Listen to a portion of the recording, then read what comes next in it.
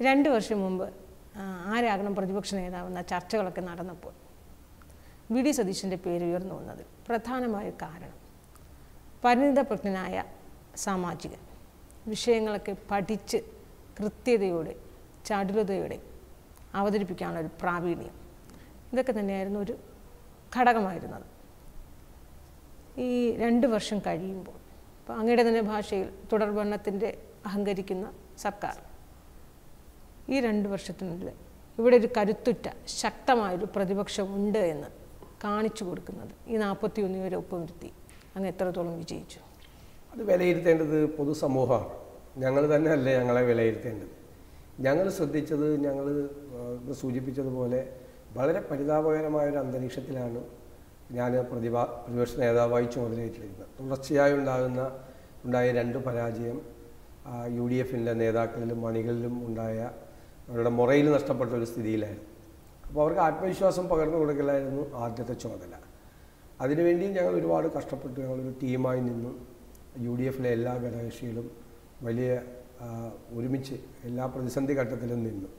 നിയമസഭയ്ക്കകത്ത് ഞങ്ങൾ നാൽപ്പത്തൊന്ന് പേരെ ഉള്ളൂ എന്നുള്ള ബോധം ഞങ്ങൾക്ക് എപ്പോഴും ഉണ്ടായിരുന്നു. നാൽപ്പത്തൊന്നൊരു ചെറിയ സംഖ്യയാണ് തൊണ്ണൂറ്റൊമ്പതിനെ കണക്കാക്കുമ്പോൾ. പക്ഷെ നാൽപ്പത്തൊന്ന് പേര് ഒരുമിച്ച് നിന്നു. ഒരു ഘട്ടത്തിലും ഒരു അനവസരവും ഉണ്ടാക്കാതെ. ഈ രണ്ട് വർഷം പൂർത്തിയാകുന്ന സമയത്ത് ഇപ്പോൾ ഏറ്റവും അവസാനത്തെ സെഷൻ സംഘർഷനിർഭരമായ സെഷൻ ഞങ്ങളുടെ കൂടിയാലോചനകളായിരുന്നു ഞങ്ങളുടെ വിജയം. കാരണം രാവിലെ എട്ട് മണിക്ക് ഞങ്ങൾ പാർലമെന്ററി പാർട്ടി യോഗം ചേർന്ന് ഞങ്ങൾ തീരുമാനിക്കും. വ്യത്യസ്തമായ ആശയങ്ങൾ പങ്കുവെച്ച് ഒരു തീരുമാനത്തിലെത്തും. ആ തീരുമാനം ഞങ്ങൾ കൃത്യമായി നടപ്പാക്കും. തിരിച്ചു വന്ന് ഞങ്ങളത് അസസ് ചെയ്യും യോഗം ചേർന്ന്.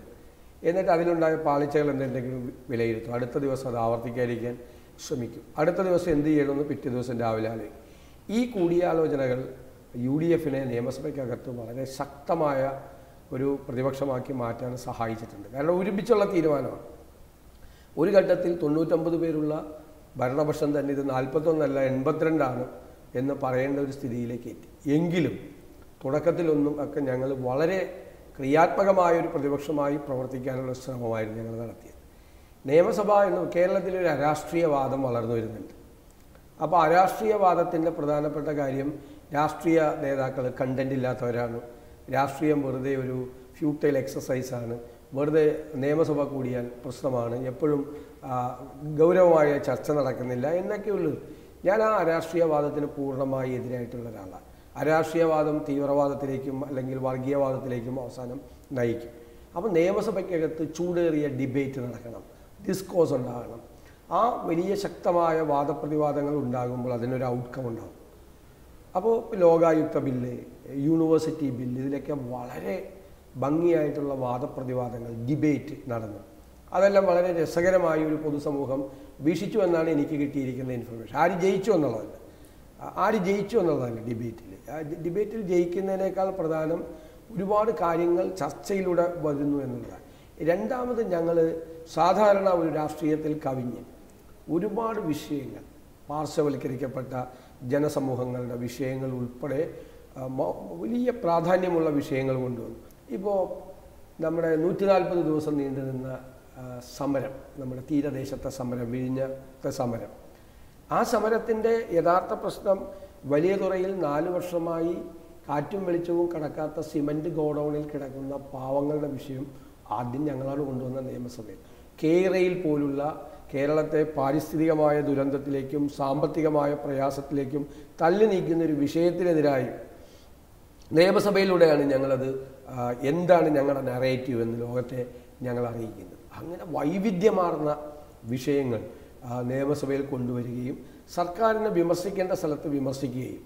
ഇപ്പോൾ ലഹരി ഇന്നിപ്പോൾ കേരളം മുഴുവൻ ചർച്ചയും ക്യാമ്പയിനും നടക്കുകയാണ്. എന്നു മുതലാണ് ആ ക്യാമ്പയിൻ തുടങ്ങിയത്. പ്രതിപക്ഷം നിയമസഭയിൽ ആ വിഷയം കൊണ്ടുവന്നപ്പോൾ ഗവൺമെന്റ് അനുകൂലമായി പ്രതികരിച്ചു. നമുക്ക് വലിയ ക്യാമ്പയിൻ നടത്താമെന്ന് പറഞ്ഞു. ഞങ്ങൾ പൂർണ പിന്തുണ പ്രഖ്യാപിച്ചു. പിന്നീട് അതിന് ഒരു ഘട്ടത്തിൽ പൊളിറ്റിക്കൽ പേറ്റർനേജ് ഉണ്ടായി. രാഷ്ട്രീയ രക്ഷാകർതൃത്വം ലഹരി മാഫിയക്കുണ്ടായപ്പോൾ ഞങ്ങൾ സർവശക്തിയും സമാഹരിച്ചുകൊണ്ട് ആ പൊളിറ്റിക്കൽ പേറ്റർനേജിനെതിരായിട്ട് ഞങ്ങൾ ഫ്ലോറിൽ അസംബ്ലിയിൽ ഞങ്ങൾ അത് കൊണ്ടുവന്നു. അങ്ങനെ പൊതുസമൂഹത്തിനുമായി ബാധിക്കുന്ന വൈവിധ്യമാർന്ന വിഷയങ്ങൾ കൊണ്ടുവന്ന് നിയമസഭയെ സജീവമാക്കി മാറ്റാൻ പ്രതിപക്ഷം വലിയ പങ്കുവഹിച്ചു എന്നുള്ള അഭിമാനമാണ് എനിക്കുള്ളത്. പക്ഷേ അങ്ങേ അഭിമാനപൂർവം പറയുന്ന അതിന്റെയൊക്കെ ഈ സമ്മേളനങ്ങളുടെയൊക്കെ നിറം കെടുത്തുന്നതായിരുന്നില്ലേ ഈ ബജറ്റ് സമ്മേളനം? ഇതിനകത്ത് ഈ സംഭവബഹുലമായ ഒരു ബജറ്റ് സമ്മേളനമാണ് കടന്നുപോയത്. ഇതിനകത്ത് ആര് നേടി ആർക്ക് നഷ്ടം സംഭവിച്ചു അതിനൊന്നും ഒരു പ്രസക്തിയില്ല.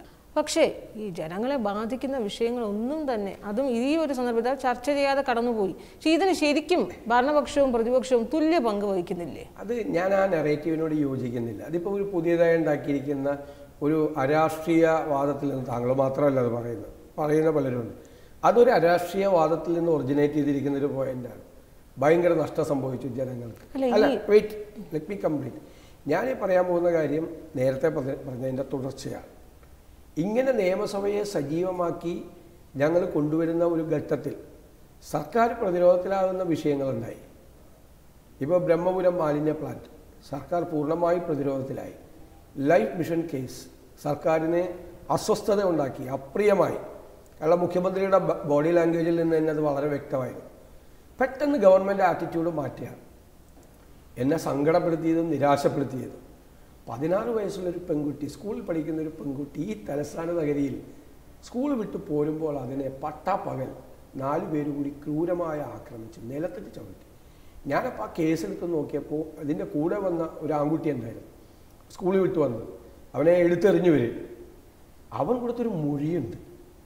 ഞാൻ നമ്മൾ എന്റെ കണ്ണ് നിറഞ്ഞു പോയി. ഞാൻ എന്റെ മകളാണെന്ന് വിചാരിച്ചു സത്യത്തെ അപ്പോൾ ഞങ്ങളിത് ഇത് സ്ത്രീ തിരുവനന്തപുരത്ത് ഇഷ്ടംപോലെ വിഷയങ്ങൾ അല്ലേ? രാവിലെ നടക്കാൻ പോകുന്നവർ പരിപാടി കഴിഞ്ഞ് പോകുന്നവർ അവരെല്ലാം ആക്രമിക്കപ്പെടുന്നു. നോക്കിയപ്പോൾ സ്ത്രീകൾക്കെതിരായ വയലൻസ് ഭയങ്കരമായി വർദ്ധിച്ചിരിക്കുന്നു കേരളത്തിൽ. അപ്പോൾ സ്ത്രീ സുരക്ഷയെ സംബന്ധിച്ച ഒരു നിർണായകമായ വിഷയം. ഈ ചെങ്കോട്ടുകോണത്തെ സംഭവത്തിന്റെ പശ്ചാത്തലത്തിൽ കൊണ്ടുവരാൻ നോട്ടീസ് കൊടുത്തപ്പോൾ പറ്റില്ല എന്ന് അപ്പോൾ മുഖ്യമന്ത്രി വളരെ ഒരു ധാർഷ്ട്യം നിറഞ്ഞ നിലപാട്. ഒരു കാരണവശാലും അദ്ദേഹം പരിശോധിക്കുന്ന അദ്ദേഹം അല്ല പരിശോധിക്കുക? സ്പീക്കറാണ് പരിശോധിക്കേണ്ടത് അദ്ദേഹം പരിശോധിച്ചിട്ട് തരും. അങ്ങനെ ഒരു ഔദാര്യം കൈപ്പറ്റി ഞങ്ങൾ നിൽക്കാമോ ഞാൻ ചോദിക്കട്ടെ അങ്ങനെയുള്ള ഒരു അവകാശം സറണ്ടർ ചെയ്തിട്ട് അത് കീഴടങ്ങി കൊടുത്തിട്ട് ശരി അങ്ങ് പറയുന്നത് പോലെ തന്നാൽ മതി. അവിടെ എല്ലാ ദിവസവും രാവിലെ വന്ന് അദ്ദേഹത്തിന്റെ മുഖത്തേക്ക് നോക്കുക അദ്ദേഹത്തിന്റെ മുഖത്ത് ദയാവായ്പുണ്ടോ? ഇത് ഈ അടിയന്തര പ്രമേയം തരാൻ. എന്ന് ഞങ്ങൾ വിചാരിച്ചിരുന്നു എങ്കിൽ നിങ്ങളടക്കമുള്ള ആളുകൾ ഞങ്ങളെ വിചാരണ ചെയ്തേനെ. കേരളത്തിന്റെ പ്രതിപക്ഷം ജനങ്ങളുടെ മുന്നിൽ വിചാരണ ചെയ്യപ്പെട്ടേനെ. വാലും ചുരുട്ടി നടക്കുന്ന പ്രതിപക്ഷം എന്നുള്ള ആക്ഷേപം കേട്ടേനെ. ഒരു അവകാശം സംരക്ഷിക്കാൻ. അത് ഞാൻ നേരത്തെ പറഞ്ഞതുപോലെ കേരളത്തിന്റെ നിയമസഭാ തലം സജീവമാക്കാൻ ക്രിയാത്മകമാക്കാൻ സാധാരണ മനുഷ്യരുടെ പ്രശ്നങ്ങൾ കൊണ്ടുവന്ന് ആ പ്രശ്നങ്ങൾക്ക് പരിഹാരമുണ്ടാക്കാൻ ഉള്ള ഒരവസരത്തെ ഹനിക്കുമ്പോൾ അതിനെ കവർന്നെടുക്കുമ്പോൾ അതിനെ ചെറുത്ത് നിൽക്കാതെ എന്ത് ചെയ്യും? വേറെ എന്താ ഓപ്ഷൻ? വേറെ എന്താണ് ഓപ്ഷൻ? കുറച്ച് ദിവസം നിയമസഭ സ്തംഭിച്ചു എന്നുള്ളത് ശരിയാണ് പക്ഷെ ഇല്ലെങ്കിൽ നിരന്തരമായി ഈ അവസരം നിഷേധിക്കപ്പെടുകയാണ്.